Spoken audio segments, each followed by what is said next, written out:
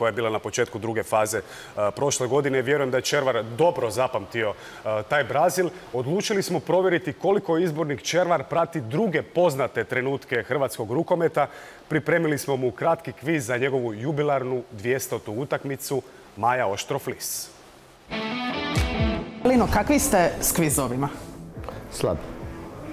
Kako to? Slab sam, mislim. pa ja sam posvećen mom poslu koje radim. A to nije kviz.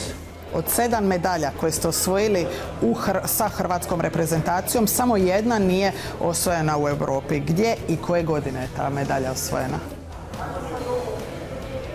A u Tunisu? To je bilo, naravno, 2005. godine kad smo bili srebrni, izgubili smo utakmicu u finalu sa Španjolskom. Koji je hrvatski igrač bio najbolji strijelac olimpijskog finala 2004. s devet pogoraka? Možda Džomba. Iz prve. Finale 2009. ostalo je zapamćeno i po sukobu Ivana Balića i kojeg francuskog igrača? Karavatića. Sjećate se toga dobro? Prva službena utakmica Hrvatska-Japan 1991. Jel znate kojim je rezultatom završila? Mi smo pobjedili. Mislim da je bilo četiri razlike, nisam siguran. Koliko je Hrvatska izgubila utakmica e, do finala svjetskog prvenstva 2009. Jedno. Do finala? Nijedno.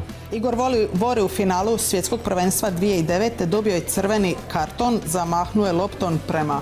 Sucu. Sjećate se možda imena ili znate odakle? Tko je najbolji strijelac u povijesti Evropskog prvenstva kad je reprezentacija u pitanju?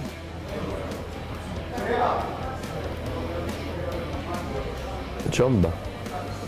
Nije istina prevario Ne, ja sam se isto začudila. Ivan Čupić s više od 150 golova. Evo posljednje pitanje, zbog njega vas je EHF kaznio e, kako se zove bjeloruski igrač kojeg ste spretno ili sretno zaustavili u Zagrebačkoj areni? Ne, ne priznajem kaznu. Unašam sebe unutra. Ha, čuj, svako ima svoj način vođenja.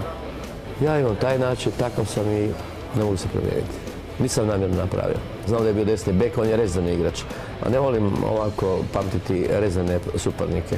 Volim one koji su mi radili glavobolju.